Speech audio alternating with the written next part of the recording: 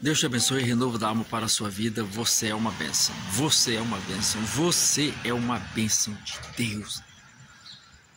Graças a Deus por mais esse dia, por mais esta aurora, por mais este maravilhoso amanhecer, este dia maravilhoso que Deus estará nos conceder. Ele vai nos abençoar hoje. Ele vai nos abençoar hoje, como nos abençoou ontem, e vai nos dar um dia maravilhoso hoje. Diga assim: Eu creio. Digite aí: Eu creio. Digite aí: Eu recebo. Digite assim: Em nome de Jesus. Hoje eu vou ter um dia glorioso. Sim, você vai ter. Deus vai te proporcionar.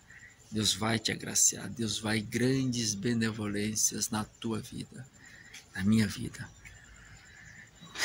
nas nossas vidas realizar. Porque Ele é bom ele é maravilhoso, Ele é glorioso. Vamos glorificar e enaltecer a este Deus tão bendito, tão majestoso, que tantas bênçãos promove em nosso viver, tantas alegrias Ele nos, nos favorece. Deus é bom, Deus é maravilhoso. Rajada de versículos para mim e para você. Vamos lá? Ao que ele respondeu Jesus: Se podes, tudo é possível que crê. Marcos 9, 23 porque para Deus não haverá impossíveis em todas as suas promessas. Lucas 1:37. Respondeu Jesus: Se creres, verás a glória de Deus. João 11, verso 40. Sabemos que todas as coisas cooperam para o bem daqueles que amam a Deus, daqueles que são chamados segundo o seu propósito. Romanos 8, 28. Tudo posso naquele que me fortalece. Filipenses 4, versículos número 13. Graças a Deus. Olha, quando Deus tem um propósito, quando Deus tem é, um caminho, uma missão para alguém, e Ele tem para cada um de nós, não existe nada, nem ninguém que, vá, que venha, que vá atrapalhar.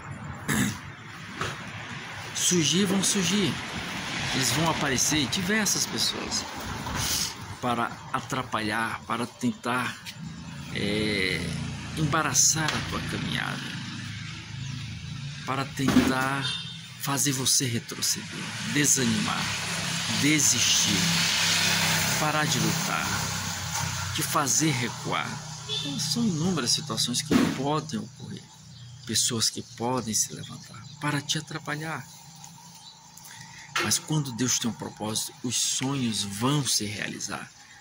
Os sonhos vão se concretizar. E você e eu vamos desfrutar desses sonhos. Então, não pare de sonhar, não pare de confiar.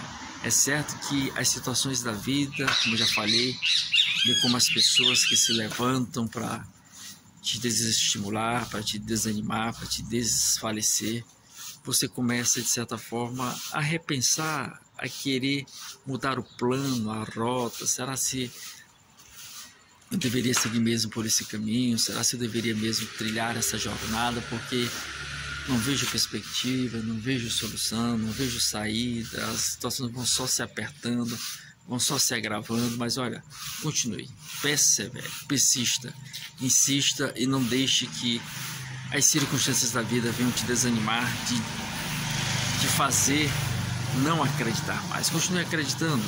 Né? A Bíblia vai nos dizer em diversas passagens bíblicas que homens e mulheres de Deus perdão, tiveram desafios na sua jornada, tiveram desafios na sua caminhada, barreiras, obstáculos, empecilhos, mas eles não desfaleceram, eles não desanimaram, mas persistiram na caminhada, confiando,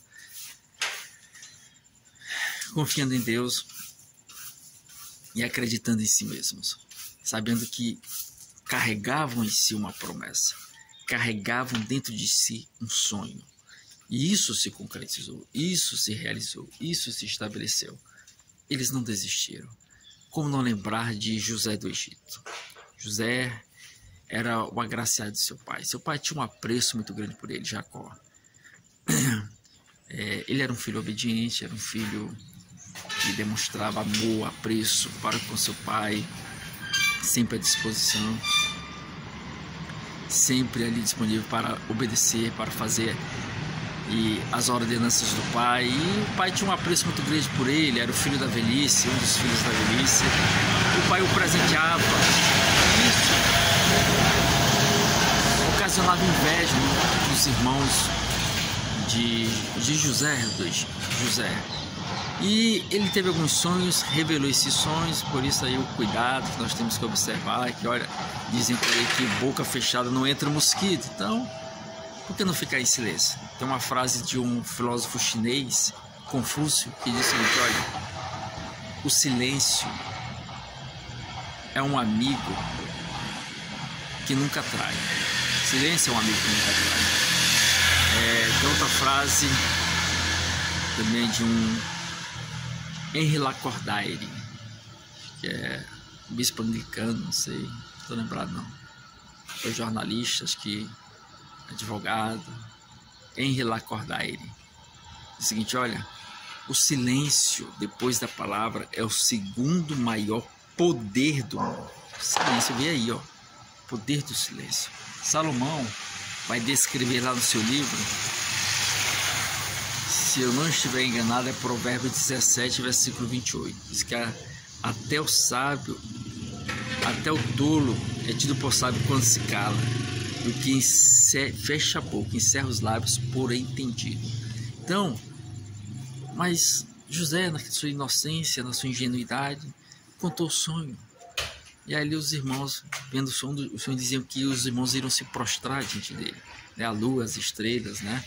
os feixes eles estavam no campo, os feixes dos irmãos se curvavam ante ao, ao feixe de José, o feixe de trigo, né? Então ele começou a observar aquele ali os irmãos e procuraram de toda forma matar, aniquilar com José. Depois venderam ele para ser escravo no Egito. E ali, ó, quer dizer, e os sonhos? Onde estão os sonhos? Onde está Deus dos sonhos? para concretizar os sonhos de José. Foi vendido como escravo. Foi, passou as mais diversas barbáries no Egito. Né? Os, os irmãos primeiro venderam ele para ser escravo para os ismaelitas, né? Estavam passando os mercadores ismaelitas. Depois os ismaelitas venderam para o Egito. Potifar foi quem comprou José. E ali ele sofreu injúrias, sofreu acusações falsas, foi preso caluniada, difamada, injuriada. E aonde estão os sonhos? Aonde está a concretização dos sonhos? Aonde está Deus? Deus estava com José. Deus esteve com José. Deus não abandonou José. Deus abençoou José e ele se tornou governador de toda a terra do Egito. Mas em todos os momentos da sua vida, nas dificuldades que ele estava atravessando, as situações complicadas que ele estava enfrentando, ele jamais reclamou de Deus, praguejou contra o Senhor. Pelo contrário, sempre procurou honrar a Deus e Deus o favoreceu. Então, não importa o que você esteja passando hoje, as pessoas que tenham, que têm se levantado contra você para tentar te ofuscar, tentar querer apagar o teu brilho, para tentar até te matar no aspecto financeiro, social, familiar. Não importa. O importante é Deus que está para te abençoar e os teus sonhos, os meus sonhos, os nossos sonhos, Ele vai realizar. Confie e acredite no Senhor, porque maior é Deus em nosso favor. Deus te abençoe, reflita acerca dessas palavras. Se inscreva aí no canal Renovo da Alma. Tem o botãozinho inscrever. Se você clica no botão inscrever, logo após clica no sino. Depois clica na palavra todas para receber os avisos de novos vídeos aqui no canal. Entra nos vídeos, deixa o like, curtida, comenta, compartilha nas suas redes sociais e nos ajude a chegar a um milhão de inscritos até o dia 6 de fevereiro de 2024. Visite nosso canal, são mais de 13 mil vídeos para abençoar a sua vida com as mais diferentes mensagens, palavras de oração. E tem aí nosso podcast Renova Cast do 23 episódio, Os Obstáculos da Caminhada Cristã. Vai lá, confira, seja abençoado e deixa o like, viu? Nos ajude aí a alcançar o maior número de pessoas com a propagação do Evangelho e que vidas sejam abençoadas pelas palavras, pela palavra de Deus aqui exposta. Então, Deus é contigo, leia a Bíblia e lembre-se, mas não se esqueça mesmo, viu? Esteja continuamente lembrando desse acontecimento que ocorrerá a qualquer instante, que é Qual é? Jesus Cristo. Ele está voltando. Portanto, não demores, pelo contrário, ó.